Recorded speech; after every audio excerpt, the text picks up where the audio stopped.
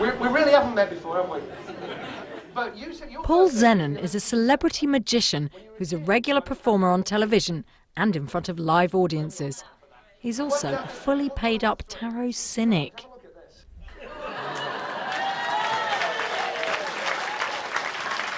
So, Paul, I am dying to hear your take on tarot because I understand you're a card carrying skeptic, Yeah. but you also used to work as a tarot card reader. I used to work as a street performer when I was about 19 or 20 years old, uh, going around the Greek islands. And where we couldn't do street shows, I'd set up in a bar to just earn a crust, basically, doing tarot card readings. So initially, I just blagged it.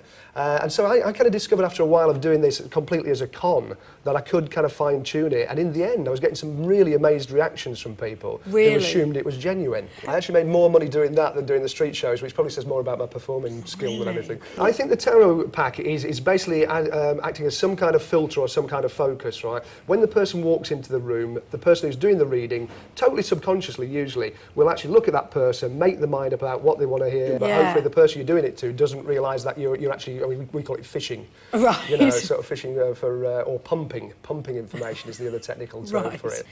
Uh, I mean, tarot hasn't turned out the way that I thought it would, but at the Sure. same time, it does seem to be a curious phenomenon how it does seem to work. It, it, well, it depends what you mean by work. I mean, Yeah. if, if you said, right, if, you can do me a reading and tell me what's going to happen to me tomorrow, Yeah. right, and if that was accurate, then I'd be convinced. But it does tend to be a little bit like over the next 12 months, you're going to have to see a change. It might be in a relationship or your career. So the problem I have with it is it is so vague. You're giving general kind of uh, readings about everything that sounds specific. If In fact, let, shall we, I'll show you. Okay. Let's do a reading. Let's find a ponder. Let's do one. Shall we?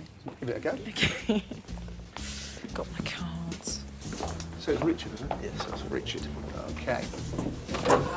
Okay, what we're going to do is, is a kind of fairly general reading uh, about you. The, the inside of you is very different to the, the sort of face you present to the outside world. It sort of suggests that you... Paul and I subjected passing Aussie Richard to our own versions of tarot. Paul made it up as he went along, using his mix of psychology and bluff. your own head. That suggests to me that you, you do, or you have done, a great deal of travelling. Would that be right? I've done a bit. Yeah. yeah. Strangely enough, that reverse is to do with sport. It's either snowboarding or, or skiing. Um, I snowboarded. You snowboard. There's a decision you're going to have to make about the job, but when you when you have to make that big decision, just hold back a bit. Don't don't make the plunge straight away. There's something there's there's a very male figure here that has a big influence on your life. It, it suggests that it might go back to childhood, but it suggests probably a member of your own family. Basically, I'm just going to do it the way I've been taught. I- I'm just telling you. And me, I did my best to remember everything I'd been taught and tried to interpret the cards. This will be probably talking about you. This usually is supposed to indicate um, someone that you are close to. It's about looking for something. So this card's quite literal. I mean, it's it's supposed to represent a you know a physical relationship. You're maybe not sure about you know which way to go in. So Richard, bearing in mind that uh, neither of us do tarot for a living, so we won't be at all offended if you say anything negative. Um, just wondering if we could have your feedback.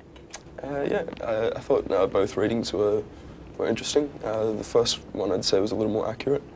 Uh, for instance, the, the snowboarding really related to me. Right. really, um, picked up sport, and uh, I, I do that as part of my travels as well. Like I'll spend, uh, that, that's one of my main focuses. Right. Where are you from originally? I'm from Australia, Sydney. Th- that's probably the, the, the heat thing then. The heat thing, uh, yeah. Yeah. So you certainly proved your point there. Well, it was, there was a few accurate bits, but I've not done it for a while.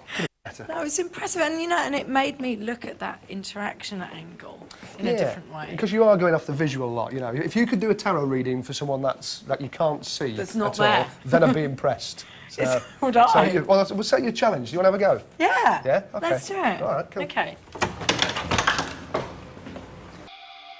Oh, here we go. Here we go. Here we go. Join me after the break when I face Paul's fiendish final test of the tarot and try to avoid getting caught in the crossfire between Paul and Michelle.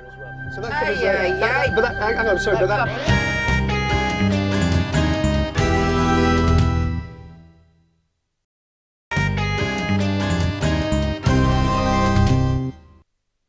So I'm mentally preparing myself for my big final challenge. And um, God, you know, I'm really, really looking forward to the outcome because I just don't know what to expect. Undoubtedly, what Paul says is true. But at the same time, I've had so many things happen with the cards that it's hard to keep putting it down to coincidence. And when it comes to Michelle, I respect her equally as much as I respect Paul. But ultimately, I completely agree with Paul that the way to test what there is to tarot is to remove that psychological angle. If you remove that element, you're left with just the cards. I just hope it, it, things don't kick off between Paul and Michelle.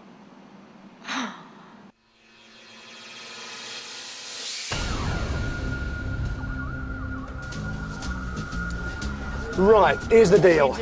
Okay. What we've set up in this building, there are Yeah. three individuals, three separate individuals. Yeah. You're going to read each of those cards without seeing. Now, I'm going to tell you that one of those individuals, there's something going to happen in just over a week's time that is going to affect their life, right? In a big way. Okay. Okay. Not going to give you any clues apart from that.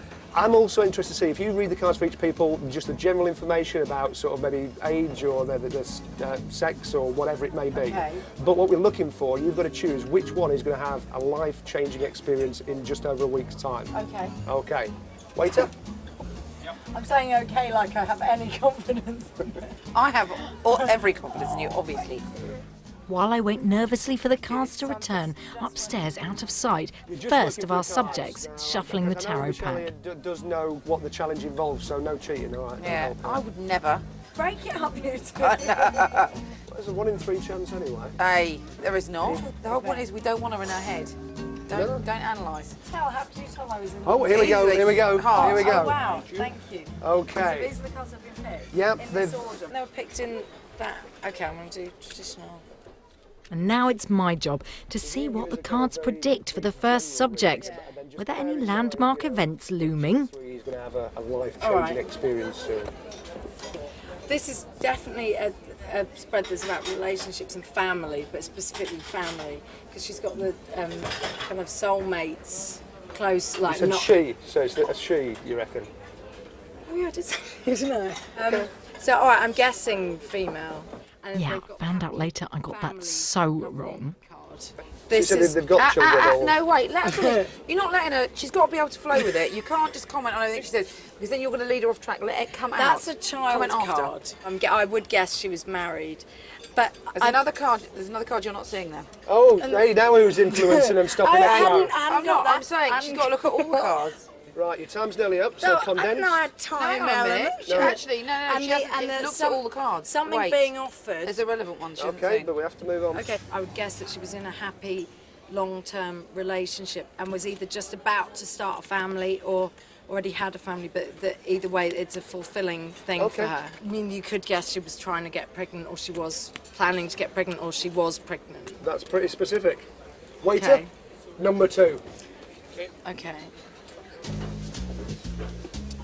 The, the only advice I would give to you, don't look at because I think what you're doing is you're you went your head there.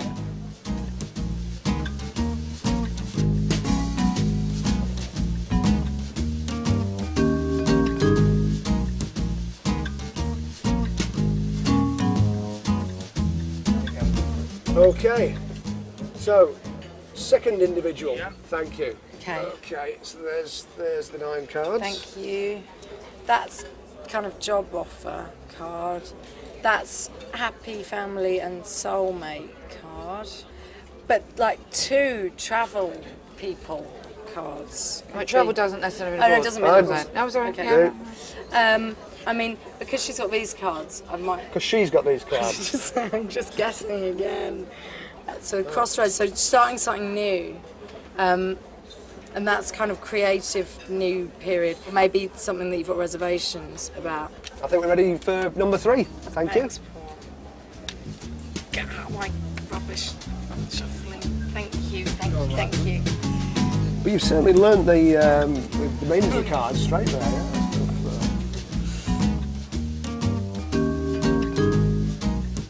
That's There he is. Third and final one. Thank you very, Okay. very much. So there we go, you grab those. Okay. Uh, so remember, the main thing, obviously, we're looking for is, is kind of this life-changing event. Yeah, but she's going to see that. It, it will come out in, in the three. Well, Hey, listen, I'm trying to help her. That that's your Yeah. job. Any That relevant- would indicate someone who's going to have a big... While I was hard at work, I couldn't help but notice a tall, bespectacled man standing watching me and scribbling furiously as I did my readings. They've been worrying about how to interpret that as, but I wouldn't necessarily say this was someone who was going to. Because this is the sort of card of being in limbo and nothing much happening. Although they've got kind of positive. I was struggling to get some meaning from the final set of cards, but I could feel crunch time fast approaching.